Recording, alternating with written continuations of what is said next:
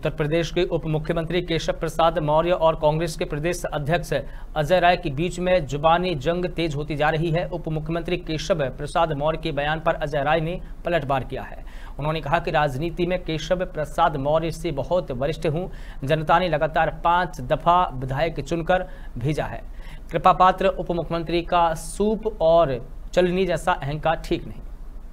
मैं उत्तर प्रदेश के deputy CM Keshav Maurya ji से कहना चाहूँगा कि जो आरोप या जिस तरीके की भाषा का इस्तेमाल आप कर रहे हैं कि आपकी पद को, आपकी गरिमा को शोभा नहीं देता, आपको जनता ने काम करने के लिए चुनकर भेजा है और आप तो खुद ही कृपा पात्र हैं, दया पात्र हैं। चुनाव हारने के बाद भी आपको बड़े नेताओं की कृपा से, आशीर्वाद से आपको यहाँ का डिप्टी सीएम पद मिला है।